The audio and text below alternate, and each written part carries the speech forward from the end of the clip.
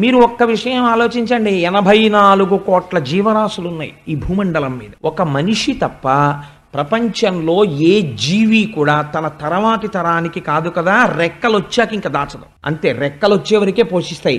రెక్కలు వచ్చాక పోషించవు. అసలు తర్వాత తరానికి దాచడం అన్నది ఎవరికీ తెలియదు ఒక్క మనిషికే తెలుసు. నేను దాన్ని తప్పు పట్టాను. గృహస్థాశ్రమంలో ఉన్నవాడు పోని దాచాడు అనుకోండి అది పెద్ద దోషం ఏం కాదు. కానీ అది అర్థం లేని దాపరికం అయిపోయింది అనుకోండి ఏమైపోతుందంటే ఇది తృష్ణ తిప్పేయడం మొదలు పెడుతుంది. ఇలా తిప్పేస్తే ఏమైపోతుందంటే ఎందుకు వచ్చాడో ఈ శరీరంతో మర్చిపోతాడు. మర్చిపోయి ఆ తిరగడంలో ఆ డబ్బు సంపాదిస్తాడు సంపాదిస్తాడు సంపాదిస్తాడు సంపాదిస్తాడు ఒకనాడు మరణిస్తాడు. వెళ్ళిపోవాలి కదా ఎవడైనా? వెళ్ళిపోతాడు. వెళ్ళిపోయేటప్పటికి ఏమవుతుందంటే ఈ వచ్చిందంతా వాడి పుణ్యం వ్యయమైపోయింది. వీడు చేసిన పుణ్యం లేదు. కాబట్టి ఏమవుతుందంటే ఇప్పుడు ఉత్తర జన్మయందు వాడు మళ్ళీ చేయాల్సిన పుణ్యం లేదు కాబట్టి దరిద్రుడైపోతాడు. కానీ వీడు సంపాదించిందంతా ఏం చేస్తారో తెలుసా అండి? పిల్లలు పనిచేసుకుంటారు. కాబట్టి ఏమైపోయింది? వీడి పుణ్యము ద్రవ్యముగా మారిపోయింది. ఈ ద్రవ్యము పిల్లలు పనిచేసుకున్నారు. మీరు ఒక్క మాట బాగా జ్ఞాపకం పెట్టుకోండి మీకు తేలిగ్గా చెప్పేస్తాను. మనకి ఇంటర్నేషనల్ బ్యాంకింగ్ కౌంటర్ ఒకటి ఉంటుంది బ్యాంక్లో.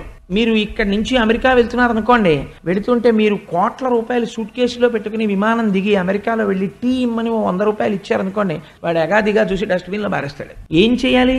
ఇంటర్నేషనల్ కౌంటర్లోకి వెళ్ళి మీరు ఈ డబ్బు ఇచ్చేసి డాలర్స్ తీసుకోవాలి. తీసుకుని డాలర్స్ జేబులో పెట్టుకుని అమెరికాలో దిగి డాలర్ ఇచ్చారనుకోండి కాఫీ ఇస్తారు. అలాగే ఇక్కడ మీరు చేసింది కన్వర్ట్ చేస్తారు. ఈ పుణ్యాన్ని ఏం చేస్తారంటే ఈజ్ ఏ కన్వర్టబుల్ ఇన్కమ్ దీన్ని ఫారిన్ ఎక్స్చేంజ్ కింద మారుస్తున్నారు మీరు. ఇక్కడ కొంత సంపాదించారు కొంత పిల్లలకు ఉంచాలి. ఒకటే రూల్ ప్రపంచంలో ఏమిటో తెలుసా అండి? తనకి కావలసినంత అవసరం కన్నా ఎక్కువ ఖర్చు పెట్టిన వాడు భవిష్యత్ తరాలకి ద్రోహం చేసిన వాడు తనకి కావలసిన దానికన్నా తక్కువ ఖర్చు పెట్టుకుంటున్నవాడు తనకి తాను ద్రోహం చేసుకుంటున్నవాడు.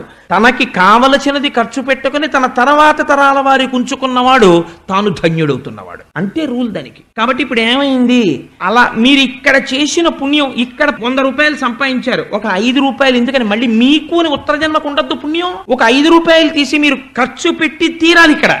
ఖర్చు పెట్టారనుకోండి ఈ ఐదు రూపాయలు ఎవ్వరికీ తెలియదు పుణ్యమో అని మీ అకౌంట్లో వేసి ఉంచుతారు. ఇది ఎందుకు పనికొస్తుంది? అంటే మోక్షం ఇవ్వలేదేమో పుణ్యం. పుణ్యం ఎప్పుడు మోక్షాన్ని ఇవ్వదు. కానీ ఉత్తర జన్మ అంటూ ఒకటి ఉంటుంది కాబట్టి అందరూ మోక్ష స్థితికి వెళ్ళిపోతామని అనుకోలేం కదా? కాబట్టి కనీసం ఉత్తర జన్మలలో అన్నవస్త్రాలకి లోటు లేకుండా సంతోషంగా బతకాలంటే ఆ పుణ్యం చేసి తీరాలి.